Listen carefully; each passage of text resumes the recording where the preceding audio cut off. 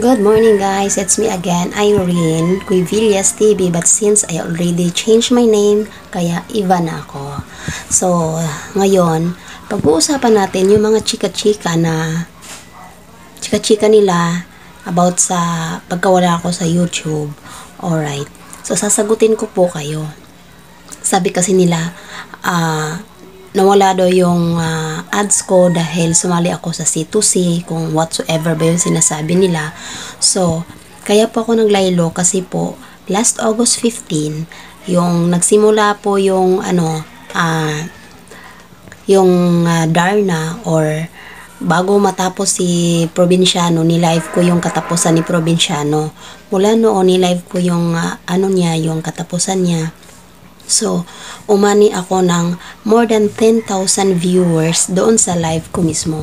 So, inulit ko siya. Inulit ko siya nung nagsimula si Darna. Yung paglipad ni Darna, yun yung title ko. And then, ni-live ko yung Darna na yon. So, yun po ang naging dahilan.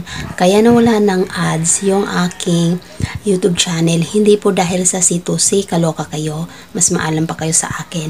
Para malaman nyo ang totoo, ito ang proof. O ano, nakita nyo na yung proof at hindi si C2C ang dahilan. Pakialam po dyan sa C2C, Tito C2C na yan. So, ito na. Oh, once again, Irene Gavilas TV, switch to the name, Ivan ako. So, ayun, ah, sa mga hindi pa po nakapag-subscribe, subscribe my channel and also my ah, Facebook page. Ayan, meron din po akong Facebook page. Ah, gagayahin ko na din yung pangalan ko sa Facebook page. Gawin ko na din Ivana ako.